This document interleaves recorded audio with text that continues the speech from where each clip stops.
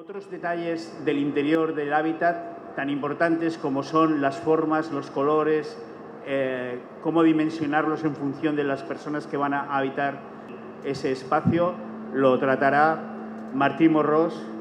Es un artista, investigador del espacio, la forma, la vibración, etcétera, etcétera, y con la perspectiva de cómo se relaciona esto con los aspectos psicológicos, emocionales, energéticos de la persona.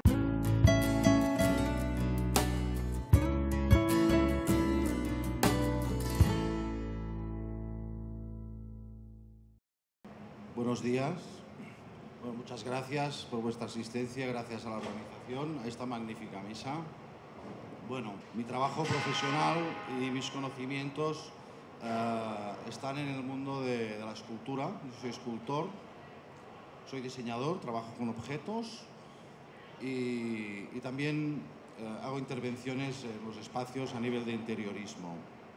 Entonces, eh, una de mis preocupaciones y de mis investigaciones y donde estoy trabajando en estos momentos es justamente la armonía, de la que nos ha hablado el compañero Antonio desde el punto de vista de la construcción y del hábitat. Hay mucha sintonía con lo que nos ha explicado. Entonces, eh, es ver la armonía entre la persona y el objeto, la armonía entre la persona y el espacio y la armonía entre todo. ¿no? Y este es el tema nuclear que, del que me interesa hablar. ¿no? Pero quisiera, en primer lugar, deciros que he venido a Sevilla, estoy muy contento y que me siento realmente en forma y que cuando he llegado aquí se me ha tratado de unas formas muy correctas. Y, también yo trabajo con básicamente la escultura en hierro y de tanto darle con el martillo tengo el dedo deformado. Y, la semana pasada tuve un, incidente muy, curioso porque tuve que, tenía que ir de testigo a, un, juicio que quedó anulado por cuestiones de formas jurídicas. También cuando llegué aquí me encontré con, unos jóvenes realmente con unas formas físicas eh, muy armónicas.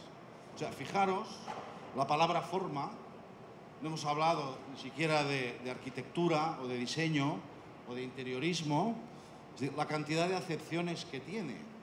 Y entonces mi pregunta es, ¿qué es la forma? ¿Qué es la forma? Ah, qué difícil es responder. ¿Alguien me puede decir qué es la forma? ¿Cómo definiría la forma? Dime. El contenedor de las cosas. Bueno, está bien. Yo creo que la forma, desde, desde el punto de vista artístico, desde el punto de vista eh, de la arquitectura, decimos que es un lenguaje, es un lenguaje. Evidentemente es un lenguaje. Bueno, eh, estos son algunos ejemplos de, la forma como, como lenguaje. Estos son, algunas de mis obras. Eh, esta nos habla de la circularidad y, de la energía de, de, dentro hacia afuera. Pasa, pasa a la siguiente, por favor. Esta nos puede hablar de la complementariedad. Pasa a la siguiente, por favor esta nos puede hablar de la verticalidad. Pero realmente a mí me cuesta mucho llegar a una definición de la forma y saber exactamente qué es, porque todos sabemos que el color tiene una escala de colores y, todo el mundo lo comprende, ¿verdad? Que tenemos pues los colores del arco iris, ¿no? O, el sonido, cuando hablamos del sonido, pues podemos recurrir a, la escala musical, ¿no? Pero tenemos una escala de, formas. ¿Cuál es el lenguaje de la forma? ¿Qué, hace la forma? ¿no? Entonces, mi, propuesta, o el pensamiento en el que estoy eh, inmerso en estos momentos, es que la forma realmente es, existe y sirve para conducir, modificar, deformar y adaptar la energía si nosotros entendemos la forma eh, eh, desde este punto de vista, vamos a empezar a entender nuestros espacios, nuestros objetos, y a nosotros mismos con una relación absolutamente diferente. Cuando estamos haciendo forma, estamos trabajando con la energía, le estamos dando circulación a la energía, estamos construyendo, eh, yo diría que incluso nuevos elementos. Bueno, esto es un ejemplo, ¿ves qué mandala más bonito que tenemos en la pantalla?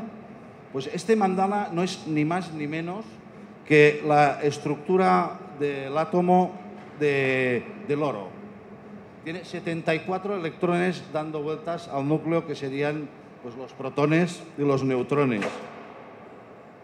74 esferas, 74 formas esféricas, entre otros aspectos que intervienen en la química, pero desde el punto de vista de la forma es, tan potente que nos está explicando la forma, la naturaleza de un elemento químico.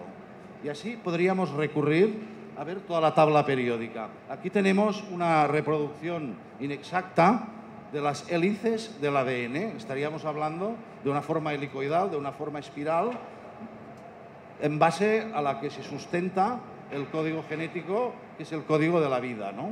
Entonces aquí quiero acabar mi reflexión respecto a este concepto de qué es la forma. E, e, empecemos a ver uh, y a entender que todo lo que está a nuestro alrededor, estos contenedores que decía aquí la amiga del público, son mucho más y a partir de estos contenedores movemos y generamos energía. Me gusta uh, uh, esta imagen porque yo soy un artista, no, no soy un científico, los artistas también somos investigadores trabajamos mucho desde el lado emocional, trabajamos mucho desde el lado espiritual, que es la forma emocional de hablar de energía. Entonces, para entender el fenómeno de la, la energía es circular. Entonces, esta imagen me gusta mucho porque siempre me imagino que la energía se mueve haciendo ondas, como cuando tiramos una piedrecita en el agua. Entonces, la cantidad de frecuencias por las que estamos invadidos en nuestro entorno cotidiano se mueven en forma circular. Entonces imaginemos qué está pasando en nuestras casas cuando esta energía, este agua, rebota en esas esquinas, toca con ese mueble, eh, eh, se cruza con nosotros.